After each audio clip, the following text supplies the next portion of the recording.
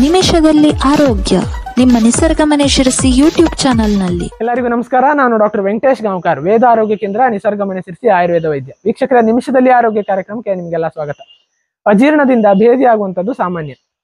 ಹಲವಾರು ದಿನಗಳಿಗೊಮ್ಮೆ ಎಲ್ಲರಿಗೂ ಆಗುವಂಥದ್ದೇ. ಅಂತ ಸಂದರ್ಭದಲ್ಲಿ ನೀವು ಈ ಒಂದು ಮನೆ ಮದ್ದನ್ನ ಮಾಡಿ. ಅದ್ಯಾವುದು ಅಂತ ತಿಳ್ಕೊಳ್ಳೋದಕ್ಕಿಂತ ಮುಂಚೆ ನೀವು ನಮ್ಮ ಯೂಟ್ಯೂಬ್ ಚಾನೆಲ್ನ ಸಬ್ಸ್ಕ್ರೈಬ್ ಮಾಡಿ, doctor Hegde self tips WhatsApp group ಅನ್ನ ಜಾಯ್ನ್ ಆಗಿ ಮತ್ತು ಉಚಿತ ಆನ್ಲೈನ್ ಸಂದರ್ಶನಕ್ಕಾಗಿ ಈ ನಂಬರ್ಗಳಿಗೆ ಕರೆ ಮಾಡಿ.